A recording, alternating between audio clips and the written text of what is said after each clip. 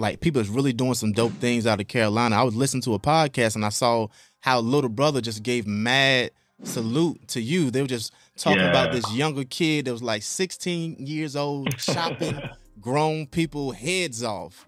And then it was this cat named Jay Gunn, who at the time was 16 and he was like a child prodigy. Like this nigga was mm. embarrassing grown men. But it wasn't just that. go. He could go. It was Listen to Phonte and Big Pooh. How important is it to you to get respect like this from your peers?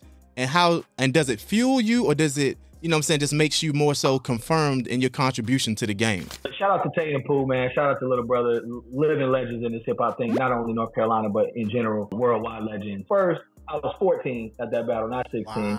I remember my dad dropped me off. I couldn't drive yet, right? It was dope that Phonte referenced it, and here's why. When we were battling, bro, we kind of felt like we hated each other.